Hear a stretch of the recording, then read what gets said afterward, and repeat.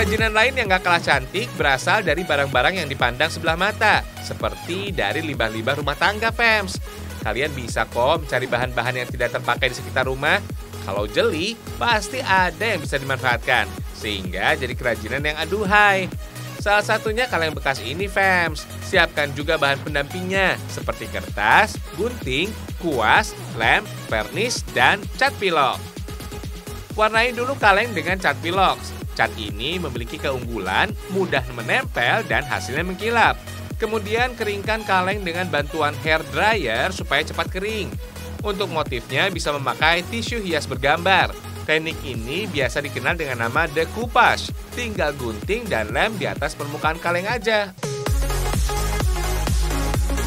Teknik decoupage ini berasal dari bahasa Perancis yang artinya memotong. Decoupage sebenarnya seni menghias objek dengan cara menempelkan kertas yang dipadukan dengan efek cat khusus atau unsur dekoratif lainnya, Pems.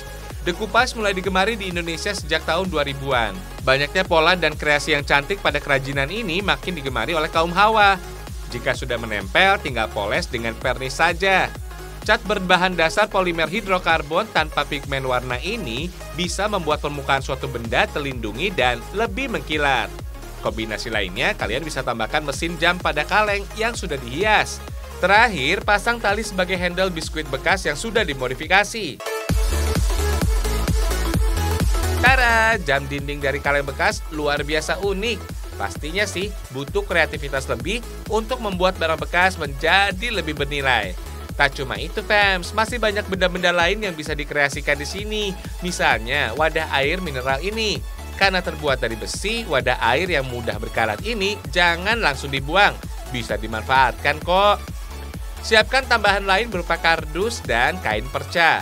Campur lem dengan air PEMS. Perbandingannya satu banding satu. Kemudian tempel kain-kain perca pada kardus hingga tertutup rata.